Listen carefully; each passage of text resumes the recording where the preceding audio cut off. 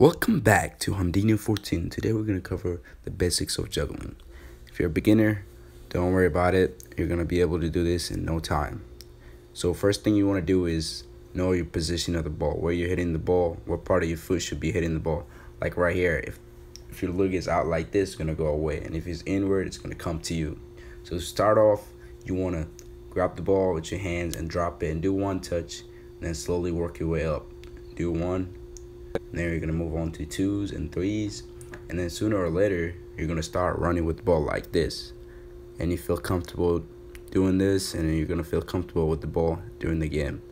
And later on, we might take it a little bit farther and do it with your partner or a teammate, and it's just more fun to it. Enjoy.